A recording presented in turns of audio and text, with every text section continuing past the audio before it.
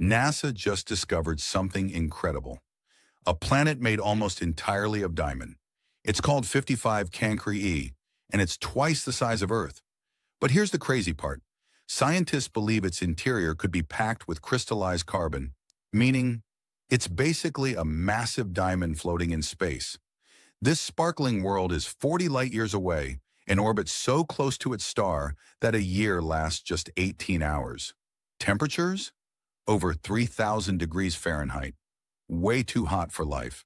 In deep space, 250 million light-years away, something terrifying is happening. A star has wandered too close to a supermassive black hole, and now it's being ripped apart.